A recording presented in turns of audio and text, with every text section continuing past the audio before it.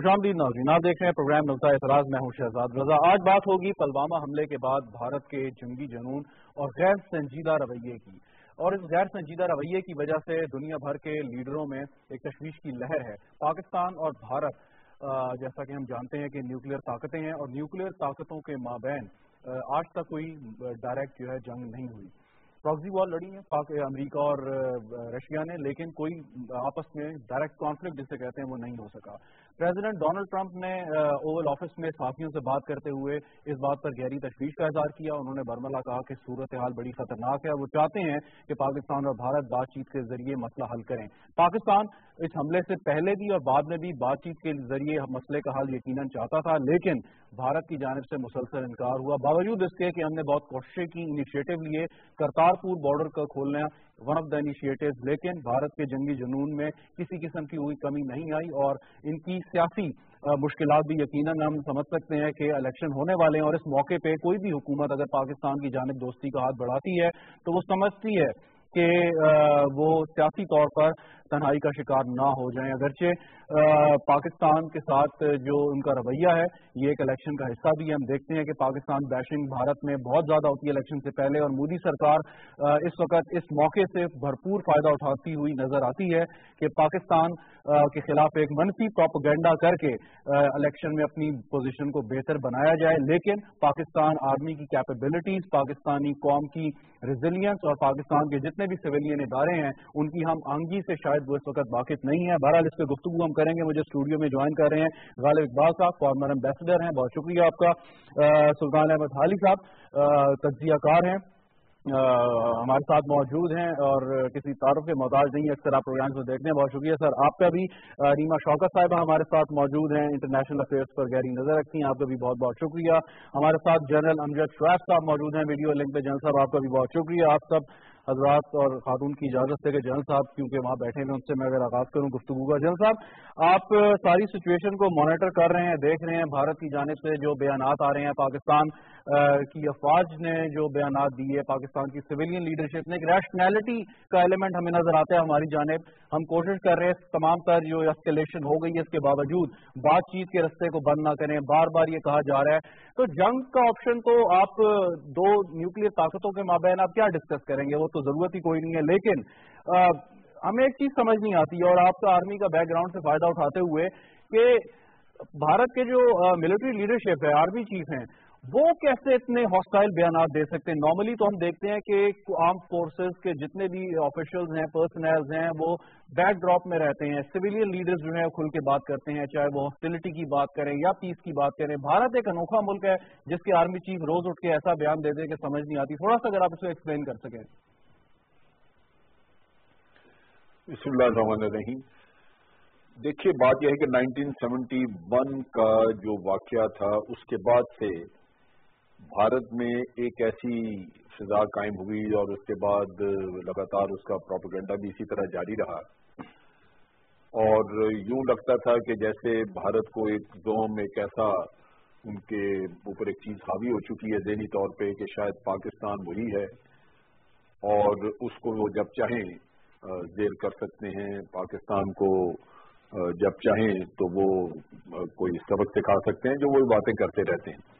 نتیجہ یہ کہ ایک نیریٹو بڑا پرانا ہو گیا اور وہاں کی جو عوام ہے وہ اس نیریٹو کے ساتھ وقت کے ساتھ ساتھ اس کو ایک ایسی ذہن میں چیز بیٹھ چکی ہے کہ وہ ایک خام خیالی میں آپ کہہ لیجیے کہ اپنے محل کھڑے کر کے تو بیٹھے ہوئے ہیں۔ لیکن جب مودی صاحب آئے حکومت میں تو ان کا ہمیشہ سے اسٹانس بڑا اگریسو کا رہا اور ایک آدمی جس کی ٹینڈنسیز ہیں ٹیررزم کی طرف اپنی ذہنی ٹینڈنسیز جو ہیں وہ انکلینیشن ہے اس کی ٹیررزم کی طرف۔ وہ شخص جو ہے وہ اسی طرح بہیو کرتا ہے ریئیکٹ کرتا ہے۔ اور پچھلے دو ہزار چودہ کے الیکشن سے پہلے پہلے اس نے اتنی ہائپ کریٹ کی اور ووٹ اسی وجہ سے اس نے لیا کہ وہ پاکستان بیشنگ کرتا رہا اور ایک بڑا اگریسو ان کو نیریٹو دیتا رہا اپنے لوگوں کو۔ تو ہندو ووٹ پہ اس نے کیپٹلائز کیا۔ اب آپ نے دیکھا کہ جب اڑی کا واقعہ ہوا تو اس وقت بھی انہوں نے اتنا کچھ نعرے لگائے کہ ہم سبق سکھا دیں گے پاکستان سے بات نہیں ہوگی ایکشن ہوگا یہ ہوگا وہ ہوگا۔ اس سے عوام کی جو توقعات ہیں وہ بڑھ جاتی ہیں وہ سمجھتی ہیں کہ لیڈر یہ کہہ رہے ہیں تو لازمن پاکستان ایک کھلونا ہے یہ اس کو ٹک لگائیں گے سب کچھ ٹھیک ہو جائے گا۔ لہذا وہ پریشر آنا شروع ہو جاتا ہے آپ کے اوپر اپنے۔ نتیجہ یہ کہ وہ ایسا پریشر آیا کہ ان کو وہ سرجیکل اسٹرائک کا ڈرامہ رچائے بغیر چارہ نہیں تھا، اگر وہ یہ نہ کرتے تو شاید ان کے عوام ان کے پیچھے پڑ جاتے۔ تو وہ ان کا، عوام کا ایک و غدر ٹھنڈا کرنے کے لیے ان کو یہ کرنا پڑا۔ اب بھی انہوں نے یہی حرکت کی۔ اور اس میں یہ، جو سمجھنے کی بات ہے وہ یہ ہے کہ انیس سو اکہتر اور آج کا وقت بہت فرق پڑ گیا۔ آرمیز کی شکلیں بدل گئی ویپنری بہت نئی آ چکی ہے۔ کیپیبلٹیز بہت زیادہ بڑھ چکی ہیں دونوں سائڈوں پہ۔ جب آپ کی کیپیبلٹیز اور آپ کے پاس اس قسم کی ہتھیار ہوں اور آرمی جو ہیں وہ بھی بڑی بیٹر ہارڈن قسم کی ہوں تو نتائج جو ہیں وہ وہ نہیں نکلتے جو آپ چاہتے ہیں۔ نتیجہ یہ کہ آپ ایک تباہی کی طرف بڑھ رہے ہیں اور اپنی قوم کو بجائے اس کے کہ ایک بردبار سمجھدار اچھے لیڈر کی طرح جو دور اندیش ہو، وہ اپنی قوم کو ایک جنگ کی صورت سے باہر نکالے بچائے وہ اس کو جنگ کی طرف دھکیلتے رہیں یہ تو اب انٹرنیشنل کمیونٹی نے جو شروع میں تو ایک ریئیکشن آیا جس سے مودی صاحب کو تقویت ملی۔ امریکہ نے بھی کہا کہ جی مودی صاحب جو ہے وہ ٹھیک کہہ رہے ہیں، پاکستان کو یہ کرنا چاہیے، وہ کرنا۔ لیکن وقت کے ساتھ اندازہ ہوا کہ یہ تو ان کا نیجک ریئیکشن تھا۔ کوئی ایسی ایسی چیز ہی نہیں۔ کشمیر میں ایک واقعہ ہوا کشمیری نے یہ کام کیا اور ان کی زندگی آپ نے اتنی تنگ کی کہ آج وہ اپنی جانے دینے کے لیے تیار بیٹھے ہیں زندگی تو اس چیز کی وجہ سے اب چونکہ انٹرنیشنل سپورٹ وہ نہیں نظر آ رہی تو آپ دیکھیں کہ مودی صاحب اب ڈیل بیک کر رہے ہیں۔ ٹھیک تو یہ صورت حال ہے ورنہ تو میرا خیال ہے کوئی ایسا بڑا قصہ نہیں تھا۔ پاکستان میں کئی واقعات ایسے ہوئے ہیں ٹو بیڈ ہم نے بھی فیس کیے ہیں لیکن ہم نے ٹیررزم کو خود ہینڈل کیا ہے خود اس کو کرش کرنے کی کوشش کی میں واپس آتا ہوں آپ کی جانے میں واپس آتا ہوں۔ امبیسڈر صاحب اب تھوڑا سا اگر ویسے سوچیں ہم کہ جب پلوامہ اٹیک ہوا اس وقت سچویشن کیا چل رہی تھی کہ کراؤن پرنس پاکستان آنے والے تھے۔ پاکستان کا ایک کرکٹ سیریز جو ہے سپر لیگ وہ یہاں پہ چل رہی تھی۔ ایف اے ٹی ایف کی میٹنگ ہونے والی تھی۔ کلبھوشن یادو کی ہیئرنگ تھی۔ پاکستان میں انویسٹمنٹ کے لیے کئی ممالک سے بات چیت ہو گئی ہے کچھ چیزیں آ گئی ہیں۔ تو ساری چیزیں جب پازیٹیوٹی کی طرف جا رہی ہیں تو پھر کچھ سمجھ نہیں آتی۔ کامن سینس تو یہ نہیں کہتی کہ کوئی ملک ایسی حرکت کرے گا کہ اس موقع پہ جب اس کے لیے اتنے مسائل کھڑے ہو جائیں۔ تو پھر اور دوسری جانب سے نی جلد ریئیکشن جیسے وہ بات کریں جیون صاحب، کہ آپ کے انویسٹیگیٹر اسپاٹ پہ نہیں پہنچے اور آپ نے پہلے پاکستان کا ذکر کر دیا۔ تو کیا چیزیں یہ ظاہر کرتی ہیں ہمیں؟ میرے خیال میں آپ نے جن چیزوں کی طرف نشاندہی کی ہے کہ یہ ساری پازیٹو ایلیمنٹس چل رہے تھے، تو اس میں کیوں کریں اس سوال میں ہی بذات خود آپ کو ایک شک کی گنجائش چھوڑتے ہیں۔ میرے خیال میں یہ اس وجہ سے نہیں ہوا کہ پاکستان میں یہ سب چیزیں چل رہی تھیں یہ اس وجہ سے ہوا ہے کہ ہندوستان میں الیکشن آنے والے ہیں۔ ہندوستان میں جب الیکشن آتے ہیں اس قسم کی چیزیں شروع ہو جاتی ہیں۔ جب بھی پاکستان کے لیے ایک ٹارگٹ بنانے کا ان کو موقع ملتا ہے وہ بناتے ہیں۔ آپ کہہ رہے ہیں کہ فورٹی فائیو ان کے جو جوان ہیں وہ مارے گئے ہیں اس حملے میں اور پاکستان کے اوپر آپ نے الزام لگایا لیکن اس سے زیادہ ضروری یہ ہے کہ اس وقت آپ دیکھیں کشمیر میں جو انڈیجنس فریڈم اسٹرگل چل رہی ہے اس کے اندر ایک ریڈیکلائزیشن اتنی ہو چکی ہوئی ہے کہ ان کو پاکستان کی مورل اور پولیٹیکل اور ڈپلومیٹک سپورٹ چاہیے۔ ان کو مٹیریل سپورٹ نہیں چاہیے پاکستان کی۔ اگر پاکستان یہ کرنا بھی چاہتا تو ان کو نہیں چاہیے وہ لوگ خود ہی اس حد تک آگے آ چکے ہوئے کیونکہ ان ہر گھر جو ہے اس میں یا تو اس گھر کا فرد یا اس گھر کے جاننے والے کوئی نہ کوئی جو ہے وہ شہید ہو چکے ہوئے۔ جس علاقے میں چھوٹی سی وادی میں ایک لاکھ سے اوپر لوگ شہید ہو چکے ہوں آپ کے خیال میں وہاں کا ریئیکشن کیا ہوگا؟ ایک گاڑی کا سڑک پہ ایکسیڈنٹ ہوتا ہے وہ ساری فیملی جو ہے وہ اتنی انگزائٹی میں آ جاتی ہے اور اتنے اینگر کے ذریعے وہ اپنا آپ کو پیش کرتے ہیں۔ Exactly. تو آپ یہ بتائیں کہ ویلی میں جو کچھ ہو رہا ہے اس کی وجہ سے کیا ہوگا؟ ہندوستان نے یہ جو کیا اور آپ نے ایک پہلا جملہ جو اسٹارٹ کیا تھا اس میں آپ نے کہا تھا کہ ہندوستان کا غیر سنجیدہ رویہ میرے خیال میں ہندوستان کا بہت سنجیدہ رویہ ہے۔ ہندوستان کا سنجیدہ رویہ اس لیے ہے کہ ان لوگوں کو جو سرکار اس وقت کی وہاں موجود ہے ان کو آئندہ الیکشن میں کامیابی کے امکانات سے نظر نہیں آ رہے۔ اس کے لیے ان کو کچھ نہ کچھ کرنا ہے۔ اور آپ یہ کہہ رہے ہیں کہ shooting two bird same stone ایک طرف پاکستان بیشنگ دوسری طرف الیکشن میں اپنا ہوا الیکشن ہی مین کنسرن ہے۔ پاکستان چونکہ it's a soft target for them as far as the media bashing is concern that's why they doing because it get sold in India اور بہت پاپولر کموڈٹی ہے پاکستان بیشنگ وہاں۔ تو علی صاحب یہ بتائیے کہ اس کو کیسے دیکھیں؟ ایک طرف یہ بھی بات آ رہی ہے کہ جیسے امبیسڈر صاحب نے بھی کہا کہ بھارت کو سیاسی فائدہ۔ تو خیر ہم اتنی آگے نہیں جاتے، بھارت کی طرح سنجیدہ یا غیر سنجیدہ نہیں ہوتے کہ یہ کوئی ان کی ایجنسیوں کا کام ہے یہاں تک ہم نہیں جاتے جب تک کوئی ایویڈنس نہیں ہے، کوئی چیز سامنے نہیں آتی۔ ہم اپنے ریشنلٹی سے ایک گفتگو آگے بڑھاتے ہیں۔ تو جیسے رائٹلی پوائنٹ آؤٹ کیا کہ جتنا اینگر ہے کشمیریوں میں، اور کریکٹ می فائم رانگ کہ یہ شاید پہلا اس قسم کا سوئسائڈ اٹیک ہے کشمیر میں۔ تو ایک تو یہ بات، دوسری بات، جب یہ چیز آگے بڑھے گی اور بھارتی افواج جو ہیں اگرچہ ہائیسٹ ڈپلائمنٹ ہے لیکن وہ اس قسم کے اٹیک کے لیے ریڈی نہیں تھی جبکہ ہماری آرمی تو اس کو ڈیل کر چکی ہے۔ تو آپ کے خیال میں یہ صورتحال کہاں جائے گی؟ پھر اسٹاپ کہاں پہ ہوگا؟ دیکھیں اسٹاپ کے اوپر تو میں آتا ہوں۔ پہلی بات تو یہ کہ ایک لیٹن کا پروورب ہے کی بونو اس کا مطلب ہے ہو گینز تو پہلے تو آپ یہ دیکھیں کہ اس واقعے سے گین کون کر رہا ہے۔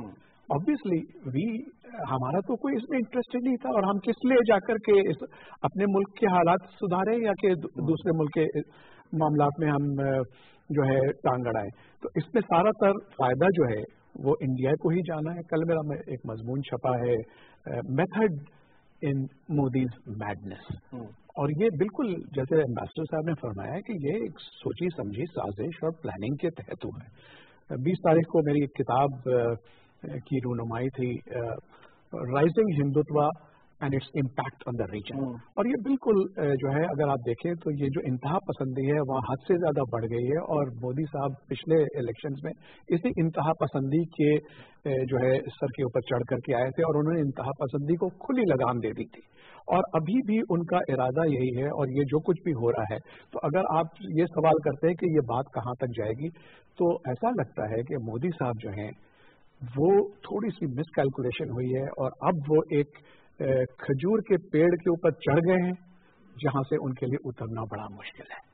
کیونکہ انہوں نے یہ مس کیلکولیٹ کیا کہ انٹرنیشنل دباؤ اس طرح سے پاکستان پہ نہیں آیا۔ وہ پاکستان کو پہلے دن ہی ارون جیٹلی صاحب نے فرمایا تھا کہ we are going to isolate Pakistan اور موسٹ فیورڈ نیشن کا انہوں نے ودرا کر لیا۔ جی۔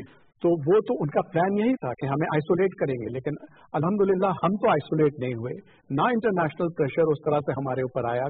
کل بھی آپ نے دیکھا کہ ایک یونائٹیڈ نیشنز میں جو انہوں نے ریزولوشن پاس کرنے کی کوشش کی اس میں پاکستان کا نام لینے سے انکار کر دیا گیا۔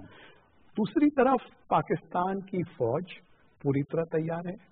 پاکستان کے وزیر اعظم نے جس طرح سے منہ توڑ جواب دیا اور بہت ہی بیلنس جواب دیا اس میں انہوں نے کوئی دھمکی نہیں دی اس میں انہوں نے ان کو دعوت دی کہ آپ آ کے گفتگو کر ہاں آپ کے پاس ثبوت ہے تو آپ پیش کریں۔ ساتھ انہوں نے یہ بھی کہہ دیا کہ لیکن اگر آپ نے کوئی ایڈونچرزم کی تو ہم اس کے لیے سوچیں گے نہیں ہم ریٹیلیٹ کریں گے۔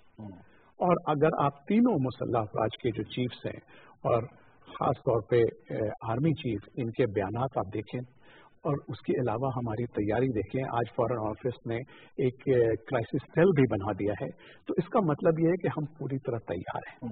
اب اگر مودی صاحب یہ سوچیں کہ یہ بات کہاں جائے گی اور کہاں جا کر کے رکے گی تو یہ اس طرح سے رکنے والے نہیں ہیں۔ انلیس کے گڈ سینس پریویلز یا کچھ انٹرنیشنل پاورز اس میں پڑے ورنہ this is a mutually assured destruction یہ میڈ گاڈ فور بیٹ چلے حالی صاحب میں واپس آتا ہوں. ریما شوکت صاحبہ، اب انہوں نے بات کی کہ گڈ سینس پریویل تو گڈ سینس کیسے پریویل ہو سکتی ہے؟ ہم نے دیکھا کہ امریکن پریزیڈنٹ کی اسٹیٹمنٹ آئی ورلڈ کیپٹل حرکت میں آئے ہوئے ہیں، کوشش کر رہے ہیں ڈی ایسکلیشن ہو، زیادہ ٹینشن نہ بڑھے. لیکن اگین بات یہ ہے کہ آپ دو پارٹیوں کو سمجھا رہے ہیں۔ ایک پارٹی آلریڈی سمجھی ہوئی ہے، وہ خود کہہ رہی ہے، آپ سے مذاکرات کریں دوسری پارٹی جو ہے، وہ بالکل آؤٹ آف دا وے جا رہی ہے۔ تو کیسے یہ پہلے تو میں اسٹارٹ کروں گی۔ لیکن پلوامہ حملے کے جب ہم اس کے بیک اپ دیکھتے ہیں اس وقت اس کی ٹائمنگز کیلکولیٹ کی جائیں اور جتنا اسپونٹینیس ریئیکشن انڈیا کی جانب سے آیا پاکستان پر الزام لگانے میں۔ تو جس طرح غالب صاحب نے بات کی آبویسلی مودی کے پاس اب کوئی چارہ نہیں ہے کیونکہ انڈیا میں اینٹی پاکستان ووٹ بینک بہت اچھا سیل ہوتا ہے۔ تو اس نے جب پچھلی چار ریاستوں میں وہ الیکشن ہار چکا ہے اپنے آگے والا اس نے اپنا ٹینیور سیکیور کرنا ہے تو اس نے تو پھر اینٹی پاکستان ووٹ بینک اپنا اسی طرح مضبوط کرنا ہے۔ جہاں تک بات رہی کہ انٹرنیشنل پالیٹکس اگر آپ دیکھیں یا انٹرنیشنل ریلیشنز تو یو ایس نے اس دفعہ کہنا چاہیے لکیلی ٹرمپ نے کوئی اس طرح کی ٹویٹ نہیں جاری کی پاکستان کے خلاف جس طرح سے اکثر ان کی جانب سے پاکستان کے اوپر الزام آتا ہے اور انڈیا کا ساتھ دیا جاتا ہے تو دیٹ مینس کہ ٹرمپ آلسو انڈرسٹینڈ کہ یو ایس میں اب یہ چیز دیکھنے میں آ رہی ہے کہ اب وہ دیکھ رہے ہیں کہ ساؤتھ ایشین ریجن میں پاکستان کے بغیر پیس ناممکن ہے۔ پاکستان جہاں افغانستان میں عام لانے کی کوششیں کر رہا ہے ہے پیس ٹاک انیشیٹیوز لے رہا ہے۔ اس طرح کے اور بہت سارے انیشیٹیوز پاکستان میں شروع ہو چکے ہیں۔ ہاں۔ آپ سی پیک کو دیکھتے ہیں اوور ہمارے سامنے ہے۔ چائنا پاکستان کا ایک بہت ٹرسٹ وردی پارٹنر آپ کہہ سکتے ہیں۔ تو آئی تھنک یو ایس پی اس پیٹرن پہ سوچ رہا ہے کہ شاید پرابلی یہ انڈیا ہی ہے جو ہر بار پاکستان کو ڈی اسٹیبلائز کرنے کی کوشش کرتا ہے۔ تو آئی تھنک اب لیٹ سی کہ آنے والے دنوں میں کیا امریکہ کی طرف سے اسٹانس آتا ہے۔ لیکن آئی تھنک پاکستان کو اپنی انٹرنیشنل لابینگ جو ہے کشمیر ایشو پہ وہ بہت اسٹرانگ کرنے کی ضرورت ہے۔ ابھی انیس فروری کو یورپی یونین نے ایک میٹنگ کی جس میں انہوں نے دکھایا کہ کس طرح سے کشمیر میں اٹراسٹیز انڈیا کی جانب سے ہو رہی ہیں اور ہم سر فرانس میں بھی سفیر رہے ہیں۔ اب بہت سارے ایسے یورپین کنٹریز جی۔ ہیں جن کو انڈیا کا چہرہ نظر آ گیا ہے۔ ہمیں اور ضرورت ہے کہ ہم اپنا جو اسٹانس ہے کشمیر ایشو پہ اس کو اسٹرانگ کریں اور دنیا کو بتائیں کہ وہاں پہ اس نے سات لاکھ فوج مظلوم کشمیریوں کے لیے ڈپلوائے کی ہوئی ہے۔ وہ سارے ہتھیار خرید ہی پاکستان کے خلاف رہا ہے۔ اگر وہ اسرائیل سے لیتا ہے یو ایس سے لیتا ہے تو ان کے نزدیک تو ساؤتھ ایشیا میں ہتھیاروں کی منڈی انڈیا ہے۔ اور انڈیا وہ ویپنس کہاں استعمال کر رہا ہے؟ وہ یا کشمیر میں استعمال کر رہا ہے یا وہ پاکستان کے جی۔ خلاف جنگ کی تیاری کرتا ہے۔ لیکن اس میں بھی ایک بہت ضروری چیز ہے شہزاد۔ جی۔ ہمیں نوٹ کرنے کی کہ کسی بھی کنونشنل وارفیئر کے سٹارٹ سے پہلے جیسے ابھی ہم بیٹھے ہوئے گفتگو کر رہے تھے یہ جو وار ہسٹیریا ہے میڈیا وارفیئر سٹارٹ ہو چکی ہے ہمیں میڈیا کے تھرو اس کو بہت زیادہ کاؤنٹر کرنے کی ضرورت ہے۔ ٹھیک لیکن آپ انڈین میڈیا جس طریقے سے وہ تو اپنی پالیٹکس بھی سنبھال رہی ہیں مودی صاحب کہے گئے الفاظ بھی سنبھالنے کی کوشش ہو رہی ہے۔ بالکل ٹھیک۔ جنرل صاحب بہت بات ہوتی ہے انٹرنیشنل میڈیا میں بھی ویسے بھی کمپیریزن کیا جاتا ہے دو آرمیز کا پاکستان اور انڈیا کا۔ نیوکلئر کمپیریزن تو آپ اس طرح کر نہیں سکتے کیونکہ جیسے حالی صاحب نے بھی کہا ٹوٹل ڈسٹرکشن کنونشنل وارفیئر میں۔ ہم دیکھتے ہیں کہ پاکستان آرمی نے دہشت گردی کے خلاف ایک بڑی طویل جنگ لڑی۔ انہوں نے دہشت گردوں کا مقابلہ کیا، حملے برداشت کیے، جانوں کی قربانیاں دیں۔ دوسری جانب ہم ایک آرمی دیکھتے ہیں کہ جنہوں نے کشمیریوں پہ، وہ اگر پتھر پھینکتے ہیں تو اس کا جواب آپ گولی سے دیتے ہیں۔ آپ کی وہ پالیسی جاری رہی۔ لیکن جو خود کش حملے ہیں، وہ بھارت کے لیے بھی کوئی نئے نہیں ہیں۔ راجیو گاندھی کی اسیسنیشن ایک اس کی مثال ہے۔ لیکن یہ جو حملہ ہوا کشمیر میں، آپ کے خیال میں کیا اب پیمانہ لبریز ہو چکا ہے صبر کا کشمیریوں کے، جس سے ایک نیا ٹرینڈ خطرناک شروع ہونے والا ہے۔ یا اس کو ایک آئسولیٹڈ انسیڈنٹ دیکھتے ہیں۔ پہلے ایک کوئک کمپیرزن اور پھر یہ سوال۔ جنرل صاحب۔ دیکھیے، بات یہ ہے کہ کمپیرزن آپ کرنے سے پہلے ایک ہر آدمی کا اپنا ایک مشن ہے جو اس کو اسائن کیا گیا ہے۔ آپ نے وہ ذہن میں رکھنا ہے۔ پاکستان آرمی کا کوئی ایسا مشن نہیں ہے کہ ہم کسی کی ٹیریٹری پہ قبضہ کرنا چاہتے ہیں۔ پاکستان آرمی کا بنیادی یا ہماری آرم فورسز کا مشن یہ ہے کہ اپنی جو مادر وطن کی زمین ہے، اس کا دفاع کرنا ہے اور آپ دفاع کرنے کے لیے جو کچھ آپ کو ضرورت ہوتی ہے، آپ اس کے مطابق وہ چیزیں لے کے وہ تیاری اپنی کرتے ہیں۔ اگر آپ نے کسی دوسرے ملک میں جا کے آپریٹ کرنا ہو تو اس کے لیے پھر آپ کو بہت کچھ لینا پڑے گا وہ ہمارا مشن نہیں ہے۔ لہذا اس دفاع کے لیے ہم جب بھی تیاری کرتے ہیں تو ہم اپنے ایڈورسری جو ہیں ان کی کیپیبلٹی کو ذہن میں رکھتے ہیں ان پہ ہر وقت نظر رہتی ہے۔ اور جیسے وہ کیپیبلٹی بڑھتی ہے ہم اسی طرح اپنے کاؤنٹر میئرز میں وہ کاؤنٹر میئرز کو بڑھا دیتے ہیں۔ تاکہ یہ نہ ہو کہ کوئی ایسا وقت آئے کہ جو ریشو آپ مینٹین کرنا چاہتے ہیں اپنے ڈیفنس کے لیے وہ آپ کے ہاتھ سے نکل جائے اور گیپ اتنا بڑھ جائے کہ پھر آپ اس کو این جب جنگ, جنگ کا وقت آئے تو پھر آپ کیچ اپ نہ کر سکیں۔ اس لیے یہ بڑا ضروری ہوتا ہے کہ آپ بالکل لگاتار اس پروسیس کو جاری رکھیں اور ایک ریویو کرتے رہیں۔ لہٰذا پاکستان آرمی نے اپنے آپ کو اپ ٹو ڈیٹ رکھا ہے اور ہر قسم کے کاؤنٹر میئر کاؤنٹر ویپنس جو ہیں وہ آپ کے پاس موجود ہیں۔ Right. اگر آپ نے اگر بھارت نے پانچ ہزار ٹینک رکھا ہے تو یہ ضروری نہیں کہ آپ بھی پانچ ہزار ٹینک رکھیں۔ آپ اگر تین ہزار ٹینک رکھتے ہیں تو دو ہزار آپ اپنے میزائل رکھ سکتے ہیں جو اینٹی ٹینک میزائلز ہوں وہ آپ ڈپلوائے کر سکتے ہیں۔ تو ہم نے کیونکہ ڈیفینس والے کو ضرورت نہیں ہے کہ وہ آگے بڑھے وہ یہیں اپنے مورچوں میں یہ چیزیں رکھے تو اپنی ڈیفینس کر سکتا ہے۔ تو اس لحاظ سے کیپیبلٹی آپ کی ایئر فورس کی بھی موجود ہے اس ڈیفینس کو سپورٹ کرنے کے لیے لہذا آپ کی زمینی افواج بھی اسی طرح تیار ہیں۔ لیکن اس سے بڑھ کے جو آپ کی ٹریننگ ہے اور جو آپ کو ایک بیٹل انوکولیشن ہوئی ہے کہ پچھلے دس سال سے یہ آرمی جو ہے دس بارہ سال سے یہ جنگ کی حالت میں ہے۔ بڑی کم دنیا کی آرمیز ایسی ہیں جو جنگ کی حالت میں اس طرح اتنے لمبے وقت کے لیے رہی ہوں۔ اور وہ جنگ آپ نے بڑا اس کا پانچ سا پلٹا ہے آپ نے وہ جنگ جیتی ہے۔ لہذا آپ کی آرمی کا مرال بھی اچھا ہے ٹریننگ بھی اچھی ہے اور وہ بیٹل ہارڈنڈ ہے۔ تو یہ ایک فیکٹر ہے جو بہت بڑا فیکٹر ہے کمپیئر ٹو اس آدمی کے جو اپنی بیرکس میں اپنی زندگی، اپنے اچھے وقت میں گزار رہی ہے۔ تو یہ بھی ساتھ ہے۔ اب چیز یہ ہے کہ جہاں تک اس اس کمپیرزن کو تو آپ ذہن میں رکھیں تو اس لحاظ سے تو ہم بالکل کانفیڈنٹ ہیں۔ لیکن اس سے بڑھ کے جو ہمارا ہمارا ڈاکٹرن ہے جو ہم نے بڑا واضح طور پہ بتایا ہوا ہے وہ یہ ہے کہ ہم افورڈ نہیں کرتے کہ ہم ایک بھی انچ اپنی زمین کا ضائع کریں۔ لہذا ہم کسی بھی سٹیج کے اوپر کوئی الٹیمیٹ سٹیپ لے سکتے ہیں، جس سے کہ ایسا نقصان ہو دشمن کا کہ پھر جنگ جو ہے وہ آپ کے ہاتھ سے نکل جائے اور وہ پھر آپ ٹوٹل ڈسٹرکشن کی طرف چلے جائیں۔ کیونکہ ہمیں یہ قطن قبول نہیں ہے کہ ہماری زمین کا کوئی بھی حصہ وہ بڑا تھوڑا سا بھی ہو، دو میل، چار میل اندر آنے کا ہو یا دو کلو میٹر چھ کلو میٹر ہو وہ کوئی محسوس کرے کہ جی ہم ایک لمیٹڈ سا آپریشن کر کے تو ہم نے پاکستان کو یہ سبق سکھا دیا وہ چیز ہوگی نہیں۔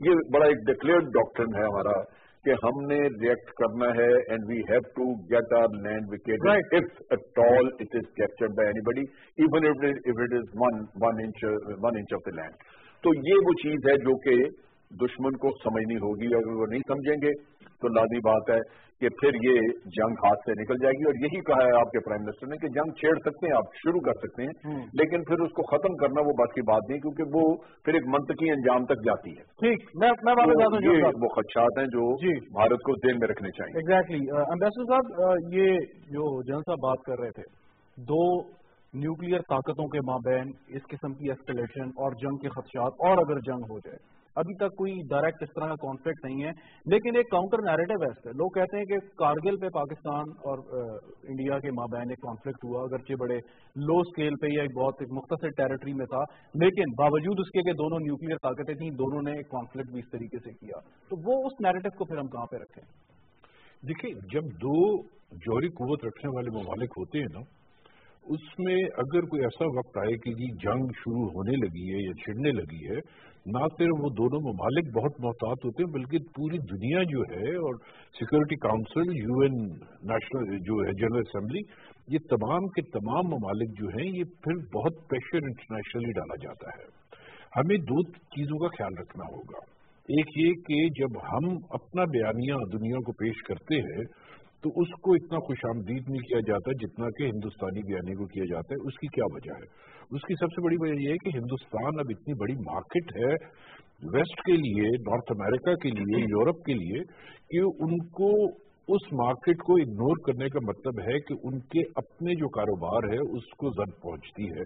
جب اپنے کاروبار کو زد پہنچتی ہے تو ان کی اپنی فیکٹریز میں کام کم ہوتا ہے۔ جب کام کم ہوتا ہے تو وہاں امپلائمنٹ جنریٹ نہیں ہو پاتی اور جب امپلائمنٹ جنریٹ نہیں ہو پاتی تو ان ممالک میں جتنے لیڈرز ہیں، ان کے ووٹ کم ہو جاتے ہیں۔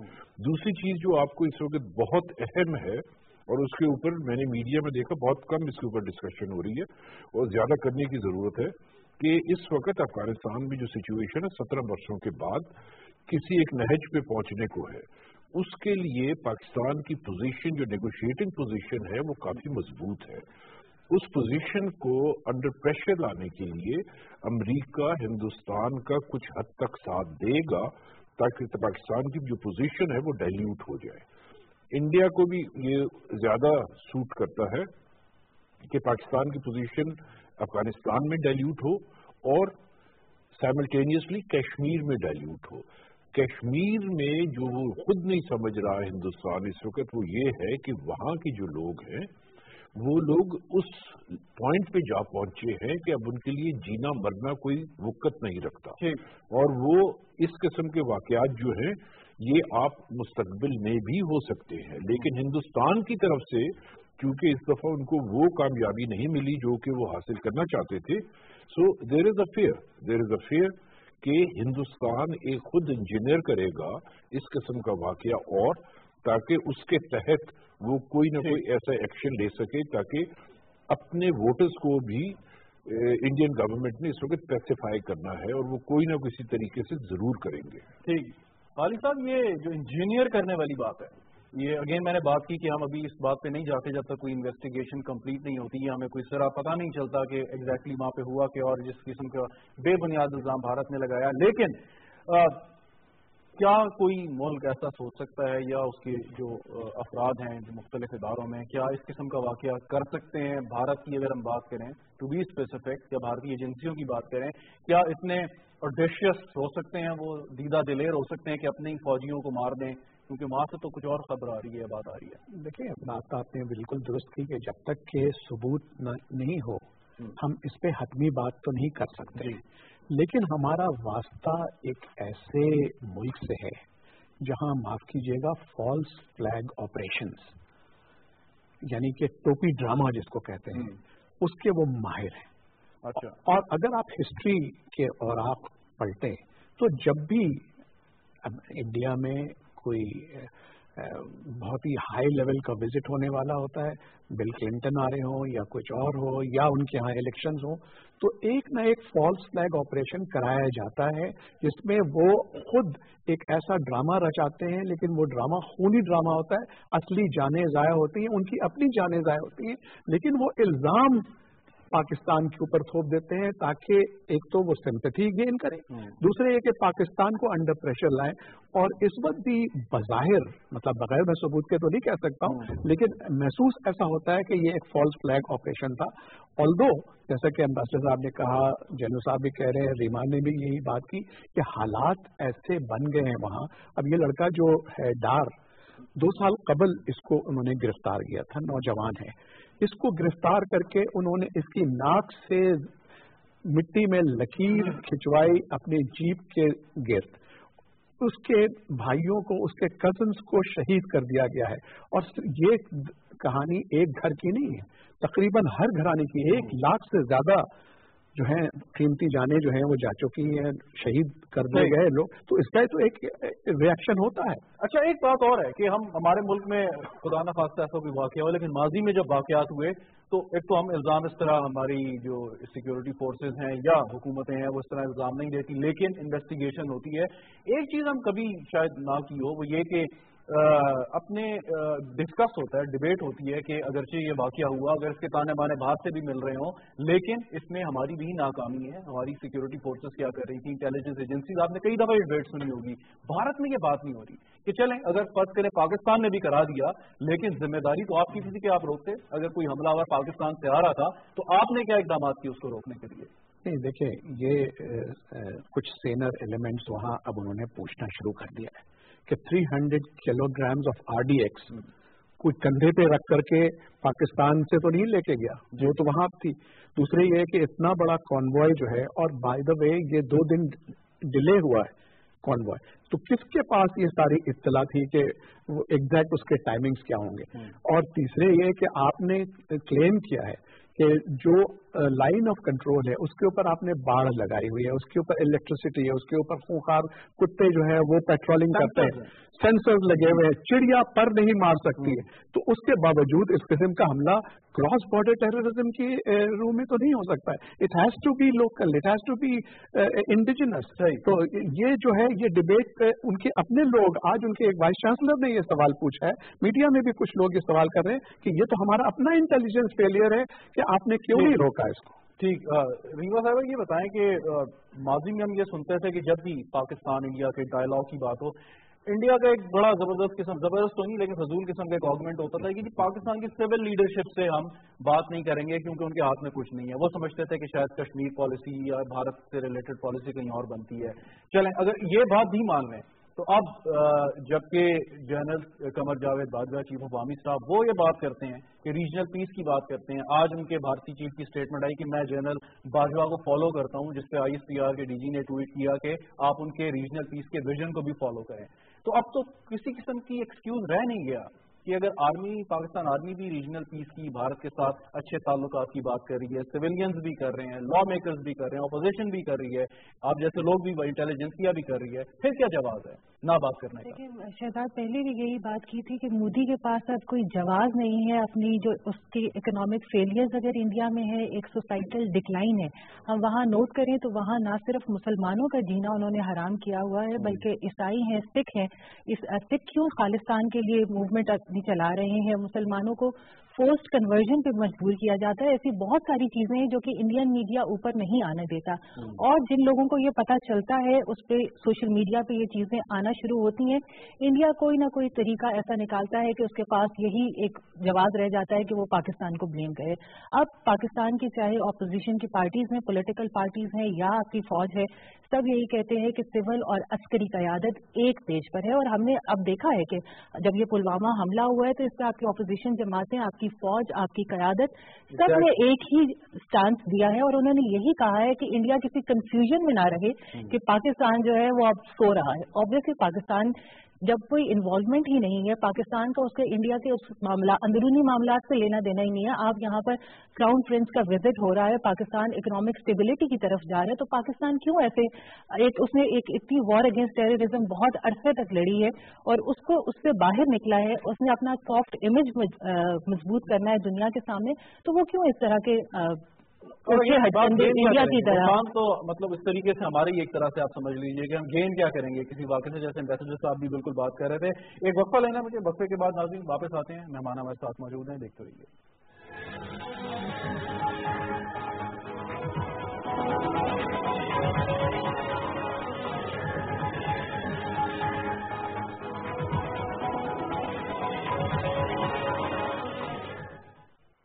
نیکی ایک ایسی کمائی ہے جو کبھی ختم نہیں ہوتی۔ تو اپنی کمائی میں سے نیکی کا ایک حصہ نکال کر صدقہ جاریہ کی نیت سے عطیہ کریں۔ اور پاکستان کے سب سے بڑے شوکت خانم اسپتال کراچی کی تعمیر میں حصہ ڈال کر زندگی بھر کی نیکیاں کمائیں۔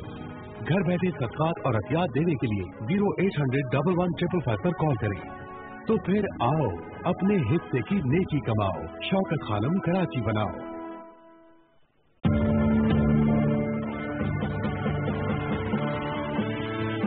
پاکستان کے number one data network کی سپر ویکلی میکس آفر سے ملے۔ دس جی بی انٹرنیٹ صرف دو سو روپے میں۔ تو ابھی star two two zero hash dial کریں اور فاسٹسٹ فور جی انٹرنیٹ کے مزور۔ ایک نیا میک ایک نیا لانگ فور جی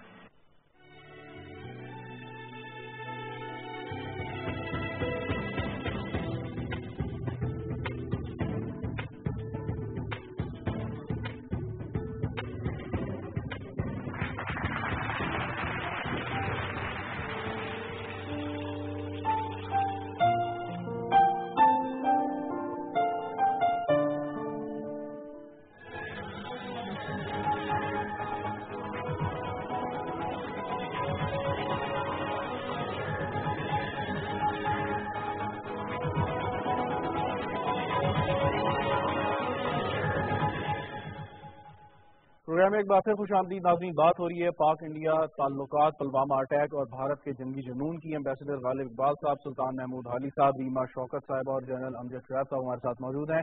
جنرل صاحب، اب سوال یہ ہے کہ گفتگو تو کی، باقی باتیں بھی ساری چل رہی ہیں کہ پاکستان کی کیا پوزیشن ہے، بھارت کیا اس وقت بات کر رہا ہے، وہاں پہ کس قسم کا جنگی جنون ہے، یا الیکشن سے قبل الیکشن جیتنے کی جو تیاریاں ہو رہی ہیں۔ لیکن پھر بھی ایک بات تو یہ فیکٹ ہے کہ چالیس سے زیادہ جو فوجی ہیں ان کی جانے گئیں۔ ایک افسوسناک واقعہ جس کی مذمت کی جائے کم ہے پاکستان نے بھی کی۔ اب آگے کیا ہے؟ آگے بھی تو چلنا ہے۔ جنگ جو ہے کسی مسئلے کا حل نہیں ہوتی، آپ میرے سے بہت بہتر سمجھتے ہیں۔ تو اب آگے معاملات بڑھیں گے کیسے؟ پاکستان کو کیا کرنا چاہیے؟ یا انٹرنیشنل کمیونٹی کو اپنا کیا کردار ادا کرنا چاہیے؟ دیکھیے پاکستان جو ہے وہ میرا خیال ہے کہ نیریٹوز کی مار کھاتا رہا ہے۔ پیچھے پانچ ایک سال تو آپ نے بالکل کوئی انڈین نیریٹو کو کاؤنٹر کرنے کی کوئی کوشش نہیں کی۔ یہ اتنی تکلیف دہ بات ہے کہ ستر اسی ہزار لوگ ہمارے مارے گئے اور روز یہاں پہ دہشت گردی کے واقعات ہوتے رہے۔ اس کے باوجود اگر دنیا میں جا کے بھارت یہ کہتا تھا کہ پاکستان ایپی سینٹر ہے ٹیررزم کا اور یہی ریجنیٹ ہوتا ہے اور ہمسایہ ممالک کے خلاف یہیں سے کیا جاتا ہے۔ تو دنیا اس پہ یقین کر رہی تھی۔ جیسے امبیسڈر صاحب نے کہا، ایک تو بالکل دنیا میں مفادات کی ساری سیاست ہے، منافقت ہوتی، یہ کوئی انصاف کی بات تو نہیں ہوتی۔ اور اگر آپ کے مفادات بھارت کے ساتھ ہیں تو آپ اس کے نیگیٹو کو سنتے ہیں، یہ بالکل ٹھیک ہے۔ لیکن دوسری طرف یہ ہے کہ ہم نے بھی کیا، کچھ کیا کہ اپنا نیگیٹو لے کے ہم بھی دنیا میں جائیں۔ اگر کسی کا ضمیر سویا ہے تو جھنجھوڑنا تو آپ کا کام تھا، وہ ہم نے نہیں کیا۔ اب آپ دیکھیے کہ بھارت ہمیشہ نان اسٹیٹ ایکٹر وغیرہ کی بات کرتا ہے کہ جی وہ فنان یہ کیے ہوگے جس کے ثبوت اور شواہد نہیں ہوتے۔ لیکن آپ کے پاس تو ایک اسٹیٹ ایکٹر موجود تھا جس سے کہ بھارت کی ریاست کا اسپانسر ٹیررزم کلبھوشن کی شکل میں آپ کے پاس موجود تھا۔ اور اس کے شواہد اس نے جو تفصیلات بتائیں کہ میں نے مہران بیس پہ کیسے اٹیک کروایا چیزیں جو بھی آپ کے پاس ہے۔ کیا ہم صبح شام اس چیز کو پروپیگیٹ نہیں کر سکتے تھے دنیا کے سامنے؟ یا یہاں پہ جو امبیسڈرز ہیں پی فائیو کے، ان کو یہ چیزیں نہیں بتائی جا سکتی تھی پھر آپ دیکھیے کہ کچھ دن پہلے ہی یہ چائنیز کونسل خانے پہ حملہ ہوا کراچی میں۔ وہ اسلم اچھو کی، بھارت کی، دہلی ہاسپٹل کی تصویریں ہیں۔ وہ یہااں پہ احسان اللہ احسان کے بیانات ہیں، جس سے پتہ چلتا ہے۔ اب بھارت تو بالکل ایک بیک قسم کی یعنی یہ ایک جیش محمد کی جی یہ ویڈیو آئی ہے، لہٰذا پاکستان نے کرایا ہے۔ وہ جیش محمد تو وہاں بھی ویلی میں بھی ہے اور وہ ویڈیو وہاں سے کوئی اس کو اپلوڈ کر سکتا تھا۔ تو ہمارے پاس تو بڑے پراپر شواہد تھے۔ اس کے باوجود ہم نے یہ نہیں کہا۔ اور پھر ہم میں سے کوئی کہے جو بڑے بڑے ذمہ دار قسم کے لوگ کہ جی بھارت، یہ بامبے میں کیا ہمیں یہ بھیجنے چاہیے لوگ؟ تو آپ خود اپنے آپ کو اگر مجرم گردان کے دنیا کے سامنے پیش کریں گے، تو دنیا آپ کی گردن پہ چھری چلائے گی۔ یعنی یہ چیز ہمیں کسی بھی طرح اپولوجیٹک نہیں ہونا چاہیے کیونکہ ہماری یہ پالیسی نہیں ہے کہ ہم نان اسٹیٹ اپولوجیٹک نہیں لیکن دوسری طرف یہ ہے کہ آپ آپ اگر ایک آپ کو کہہ رہے ہیں دہشت گرد اور آپ کے پاس شواہد ہیں کہ وہ بھی دہشت وہ بڑا دہشت گرد ہے تو آپ کیوں نہیں اس کو دنیا کو دکھاتے؟ تاکہ وہ چیز آپ کے سامنے لوگوں کو نیگیٹو اصل مسئلہ کیا ہے؟ دیما بھی یہ بات کر رہی تھی سب سے بڑی پرابلم آج آپ کی اپنی کریڈیبلٹی کی ہے یعنی آپ جو بات کر رہے ہیں اس پہ یقین نہیں کیا جاتا۔ ایک آرکیسٹریٹڈ پروپیگنڈا چلا۔ افغانستان نے بھی آپ کے اوپر الزام عائد کرنے شروع کیے۔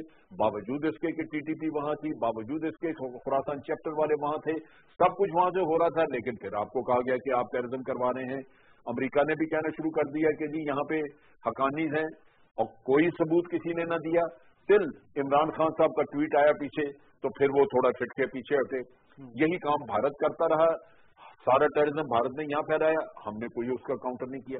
تو تین اطراف سے ایک بڑا آرکیسٹریٹڈ آپ کے اوپر اٹیک آیا۔ نیریٹو کا، جس میں آپ پھنس کے رہ گئے اور آپ نے بالکل ہاتھ باندھے ہوئے سے کچھ نہیں کہا۔ میں آپ کو ایک چیز بتاتا ہوں۔ جب پٹھان کوٹ کا اٹیک ہوا، تو میاں صاحب سری لنکا میں تھے۔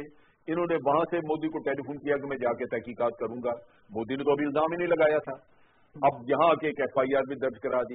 آپ یقین کریں جب ہم نے تحقیقات کی تو یہاں پہ کوئی ایسے شواہد نہ ملے جس سے پتا چلے کہ پاکستان سے کسی نے کیا ہے۔ لیکن اس پروسیس میں ہمیں یہ پتا چلا کہ ایک اٹیک اب چند دنوں میں انڈین گجرات میں ہونے والا ہے۔ چنانچہ ہمارے نیشنل سیکورٹی ایڈوائزر نے ان کو بتایا کہ دس لوگ اس اٹیک میں حصہ لیں گے ہمیں تحقیقات کے دوران پتا چلا ہے۔ اور وہ ان میں سے چھ کے نام پتا چلے ہیں۔ ہم نے بتایا اگر ہم کروا رہے تھے ہم کیوں بتاتے؟ لیکن آج دن تک کسی نے اس چیز کا ذکر نہیں کیا۔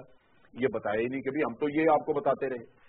تو مسئلہ کہنے کا یہ ہے کہ آپ کا سانس نہ صرف اگریسو ہونا چاہیے بلکہ بیسڈ آن فیکٹس جو آپ کے پاس موجود ہیں۔ اگر آپ دنیا کے سامنے رکھیں تو شاید آپ کا بھی کچھ کریڈیبلٹی آپ کی بھی بہتر ہو کہ واقعی ہم صرف الزام ریسیو کرنے کے لیے نہیں ہے بلکہ ہم دنیا کو دکھانے کے لیے کہ ہمارے ساتھ کیا ہو رہا ہے۔ تو ایک یہ ایشو بہت بڑا ہے جس کی وجہ سے دنیا آپ کی بات نہیں سنتی اور بھارت آپ کو ہر دفعہ ایک واقعہ ہوتا ہے۔ اور اس کے آڑ میں وہ آپ کو پورے کھینچ کے ہمارے پورے ملک کو طے بالا کرنے کے لیے ہو جاتا ہے۔ بالکل یہ میرا خیال ہے ہمارا بہت بڑا ایک سیلنگ تھی ہماری۔ ہمارا ہمارا بہت بڑا یہ ایک ویک پوائنٹ ہے ویکنیس امبیسڈر صاحب آپ نے جو بات کی تھی کہ بہت بڑی اکانومی ہے بھارت ان کی ٹریڈ ہے۔ بہت سے ملکوں سے وہ امپورٹ کرتے ہیں یا ان کی مارکیٹ جتنی بڑی ایک ارب سے زیادہ افراد کی ہے۔ تو پھر آپ جو مرضی کر لیں آپ چاہے میڈیا میں انویسٹ کریں آپ جیسے زبردست قسم کے لوگ کہیں پہ جا کے امبیسڈر لگے وہ اپنا بیانیہ پیش کرنے کی کوشش کریں۔ لیکن جب بات مالی مفادات کی آ جائے، پھر آپ کی بات کون سنے گا؟ پھر ہم کس طریقے سے اپنا نیریٹو آگے بڑھائیں گے؟ یہ نہیں ہوتا کہ جی بالکل دیکھیں، یہ ایک بہت بڑا فیکٹر ہے معاشی فیکٹر لیکن جس طریقے سے آپ اپنا کیس پریزنٹ کرتے ہیں، اس میں بھی بہت جان ہوتی ہے۔ آپ دنیا کی تاریخ نکال کے پڑھ لیں، اس میں چھوٹے ممالک نے بڑے ممالک کو بہت دفعہ کارنر کیا ہے اس لیے کیا ہے کہ ان کی جو ان کا جو بیانیہ ہے وہ بڑا مضبوط ہے۔ پاکستان کا بیانیہ بھی بہت مضبوط ہے لیکن ایک فرق جو آپ میں اور ہندوستان میں ہے وہ یہ ہے کہ ادھر بدیانتی کا دخل امن دخل بہت ہے۔ آپ کے یہاں نہیں ہے۔ اس وقت آپ کے اپنے ملک میں ستر ہزار سے اوپر لوگ شہید ہو چکے ہیں دہشت گردی کی جنگ لڑتے ہوئے۔ آپ کی فوج کے اوپر ہوا ہے پولیس کے اوپر ہوا ہے رینجرز کے اوپر ہوا ہے سولینس کے اوپر ہوا ہے اسکولس کے اوپر ہوا ہے لیکن آپ لوگوں نے کبھی بھی آگے بڑھ کر یہ نہیں کہا کہ یہ بھارت نے کروایا ہے۔ یا آپ نے یہ ضرور کہا جی باہر تانے بانے ملتے ہیں، لیکن کیا کیا ہے آپ نے؟ اور جب آپ ایک آدمی کو کہتے ہیں، تو اگر وہی بیانیہ اس کے برعکس ہندوستان کے کہ جی یہ تو نہیں، یہ تو یہ کام کر رہا تھا، تو اس معصوم آدمی کو مار دیا تو دنیا پھر وہ بیانیاں ماننے کو تیار ہوگی۔ لیکن معاشی فیکٹر اپنی جگہ ہے لیکن اس کے باوجود جب آپ اس کو بہت سنسیئرٹی کے ساتھ صحیح حالات ہیں وہ لا کے آپ پیش کرتے ہیں لیکن چند ایک چیزیں تو پاکستان کو کرنی پڑیں گی جو کہ ٹریڈیشنل ڈپلومیسی سے ہٹ کے ہے آپ کو پبلک ڈپلومیسی میں بہت ایکٹیو ہونے کی ضرورت ہے۔ اس میں آپ کو انوویٹو آئیڈیاز چاہیے اس میں آپ کو انوویٹو ٹیکنیکس چاہیے۔ کیونکہ پبلک ڈپلومیسی ایک ایسی چیز ہے which is going to bring you dividends in a short time you have to invest money in that جتنا آپ ٹریڈیشنل ڈپلومیسی میں کر رہے ہیں اتنا ہی آپ کو پبلک ڈپلومیسی میں کرنا پڑے گا اور پبلک ڈپلومیسی کے ذریعے آپ ایک عام انسان جو دوسرے ملک میں رہتا ہے اس کا ذہن تبدیل کر سکتے ہیں حالی صاحب یہ بات بڑی زبردست کی انہوں نے کہ ہم پاکستان میں بے شمار واقعات ہوئے اسلام آباد میں جس شہر میں ہم بیٹھے ہیں یہاں پہ اٹیک ہوئے خود کش حملے ہوئے لیکن ہم تو کسی کے خلاف بھی اپنا بیانی اس طریقے سے بلڈ نہیں کر پائے۔ اگرچہ ہم نے بڑی محنت سے سیکریفائز کر کے اس دہشت گردی کو بہت حد تک شکست دی اور یہاں سے ان کا خاتمہ کیا۔ لیکن اگر یہ اسٹیٹ اسپانسر تھا، جس کا کلبھوشن یادو آپ کے سامنے ہے، یا جو آپ نے ڈوسیئر بنائے ہوئے بلوچستان میں، ہندوستان کی مداخلت کے، تو یہ کیا وجہ ہے کہ وہاں پہ ایک اٹیک ہو اور پوری کی پوری ان کی جو ہے افواج بھی اور ان کی حکومت بھی کھڑی ہو کے پاکستان پہ الزامات دے، جب یہاں پہ ہو اور ثبوت بھی ہو تو اس طریقے سے ماضی میں ہم یہ نہیں کر پائے۔ اس کی کیا وجہ ہے؟ اس کی وجہ ہماری سائیکی میں ہے۔ دیکھیں، وہ بڑھ کر کے بولتے ہیں۔ مطلب ریما میرے ساتھ بیٹھی ہیں، یہ اس بات کی تائید کریں گی کہ ایک بچہ بھی جب تک کہ اظہار نہیں کرتا ہے، بھوک کا ماں اس کو دودھ نہیں پلاتی ہے۔ اور یہاں یہی ہے کہ ہمارے ساتھ ہم پہ اتنے طوفان آئے اور ہم خاموشی سے سہ گئے۔ بہت ماڈسٹ ہیں کیا وجہ یہی یہی تو میں کہہ رہا ہوں کہ یہ ہماری سائیکی ہے اور ہمیں یہ بدلنا پڑے گا اور بھارت کی سائیکی جو ہے وہ انہوں نے چانکیائی چالوں سے سبق لیا ہے کہ ایک جھوٹ کو اتنی مرتبہ دوہراؤ اور اتنی بلند آواز میں دوہراؤ کہ لوگ آپ کے جھوٹ کو سچ سمجھ ہم کیا کریں؟ ڈفرینس پڑھانا شروع کر دیں۔ نہیں نہیں۔ اچھا۔ نہ ہمیں ارتھ شاستر پڑھنے کی ضرورت ہے، نہ ہمیں دا پرنس پڑھنے کی ضرورت ہے۔ ہمارے پاس اپنا جو ہے بیانیہ، صرف اس کو اسٹرانگ کرنے کی ضرورت ہے۔ سچ بولیں لیکن اس کو ہم لاجک کے ساتھ پیش کریں دنیا کے سامنے اپنا جو ہے مقدمہ رکھیں کہ ہمارے ساتھ یہ ہو رہا ہے اور ہمارا دشمن یہ ہے۔ مثال کے طور پہ مثال کے طور پہ کہ جیش محمد بڑے عرصے سے پاکستان میں بیان ہے۔ بہت جی۔ ساری چالیس سے زیادہ کی وہ فہرست ہے جو تنظیمیں آپ نے وقتاً فوقتاً بیان کی۔ اب حال ہی میں جماعت الدعوا فلاح انسانیت پر بھی آپ نے پابندی جو انڈر واچ تھی پہلے۔ تو یہ ساری باتیں آپ اسٹیپ تو کر رہے ہیں۔ یا تو یہ دنیا میں کوئی اٹھ کے کہہ کہ جی یہ سارا کچھ ایک آپ کا صرف ایک آئی واش ہے۔ جب آپ سنسیئرلی اسٹیپ کر رہے ہیں، ان کی آپ املاک کو، ان کے جو فیسلٹیز ہیں، اس کو تحویل میں لے رہے ہیں، پھر باور کیسے کرائیں ہم؟ کام تو کر رہے ہیں ہم سارا۔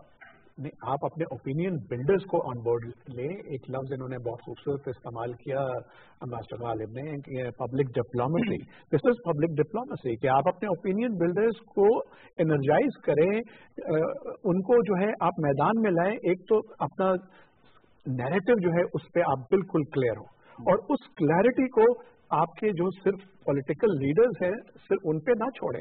آپ کی انٹیلیجنسیا ہے، آپ کے میڈیا ہے اور آپ کے جو تھنک ٹینکس ہیں، آپ کی جو اکیڈمیا ہے ان لوگوں کو آپ انرجائز کریں کہ یہ جا کر کے آپ کا پیغام بیان کریں۔ آپ اخبارات میں مضامین لکھیں، آپ مذاکرات میں شرکت کریں۔ اب اس دفعہ ففتھ فیبروری کو ایک سکسیسفل کشمیر سالیڈیرٹی ڈے اس لیے منایا گیا کہ ساری دنیا کے کیپٹلز میں جو ہے کشمیریوں کا مدعا لے کر کے ہم گئے۔ لیکن it's too little too late اب ہمیں ضرورت ہے کہ ہم مار کھا رہے ہیں۔ اسی بات کی کہ نیریٹو ہمارا جو ہے وہ سامنے نہیں آ رہا ہے۔ ٹھیک یہ نیریٹو کی بات بڑی ہوتی ہے ویسے اور کسی سے میں نے سوال بھی کیا کہ ہمارا نیریٹو ایگزیکٹلی آپ کسی نیریٹو کو کتابچے کی صورت میں نہیں چھاپ سکتے نا تو ایک سوچ کا ایک نظریے کا نام ہے ویژن کا آپ کے ایکشن سے آپ کی اسٹیٹمنٹ سے آپ کے ملک میں جو چیزیں چل رہی ہیں اس سے یہ آپ کے بیانیے کا پتہ چلتا ہے۔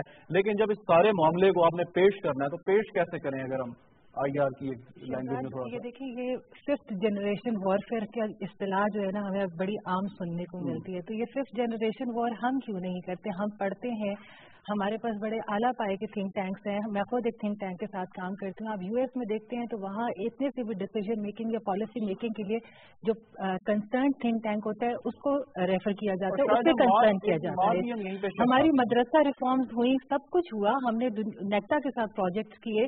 وہ کیوں نہیں منظر عام پر آئے؟ وہ دنیا کو کیوں نہیں دکھائے گئے کہ پاکستان اپنا ایک نیریٹو لے کر آ رہا ہے؟ آپ کا پیغام پاکستان سب دنیا کو پتا چلنا چاہیے۔ یہ صرف پاکستان کے بچوں کے لیے ان کے عوام کے لیے نہیں ہے۔ دنیا کو دکھانے کی ضرورت ہے۔ جنریشن وار میں۔ کیونکہ امریکہ کی آپ نے بالکل صحیح مثال دی لیکن جب میں نے وہاں پہ چیک کیا خود دیکھا وہاں پہ تو مجھے دو سے زیادہ لوگ نظر نہیں آئے۔ پاکستانی ہوں گے جو ان تھنک ٹینکس میں تھے۔ ایک شاید محیط یوسف ہے دوسرے شجان آباد ہیں۔ دیکھیے اب یہی بات ہے کہ اب پاکستان میں تھنک ٹینکس بہت کام کر رہے ہیں لیکن ان کو آن بورڈ لینے کی ضرورت ہے۔ چاہے وہ آپ کی یونیورسٹیز ہیں یا تھنک ٹینکس ہیں یا اور ایسے ڈسیزن میکنگ جو ادارے ہیں ان کو چاہیے کہ آپس میں کنسلٹ کریں۔ وہ دیکھیں جب ہم بات کرتے ہیں نا کہ ہماری سول اور عسکری قیادت ایک پیج پر ہے وہ ایک پیج پر ہے ہم سب کو پتا ہے پاکستان میں کتنا کام ہو رہا ہے کس کس حوالے سے ہو رہا ہے کشمیر ایشو ہو رہا ہے اس پہ کام کیا جا رہا ہے لیکن اس کو دنیا کو دکھانے کی ضرورت ہے۔ اور اس میں بہت اہم ہوتا ہے جب آپ کے پاس آپ کے باہر سے ڈیلیگیٹس آتے ہیں کسی فورن وزٹس ہوتے ہیں آپ جائیں اور اپنا نیریٹو اپنا سانس دنیا کو بتائیں۔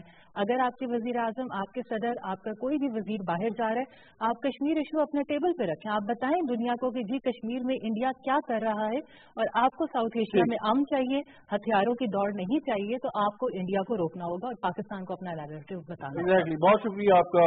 ہمارے ساتھ موجود تھیں ریما شوکت صاحبہ سلطان محمود علی صاحب آپ کا بھی شکریہ امبیسڈر غالب اقبال صاحب، جنرل امجد شعیب صاحب، ہمارے ساتھ موجود تھے، ناظرین، گفتگو آپ نے سنی، یہ جو جنگی جنون بھارت کا اس پہ جو ہم نے بات کی، پاکستان نے کئی دفعہ مذاکرات کی دعوت، پلوامہ حملے سے پہلے بھی، بعد میں بھی دی، اور اس کے ساتھ پاکستان کی افواج ہوں، پاکستان کی سویلین قیادت ہو وہ ایک ہی پالیسی لے کے چل رہے ہیں، اور پالیسی یہی ہے کہ تمام تر مسائل کا حل مذاکرات کے لیے ہے، لیکن اس آفر کو آپ کمزوری نہ سمجھیں۔ اگر کسی بھی قسم کی مس ایڈوینچر کی آپ نے کوشش کی، تو ہم ہما وقت تیار ہیں جواب دینے کے لیے۔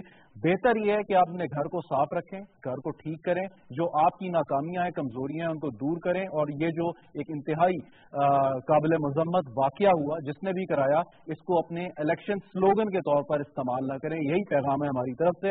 بہرحال پروگرام دیکھنے کا شکریہ۔ اجازت دیجیے، خدا حافظ۔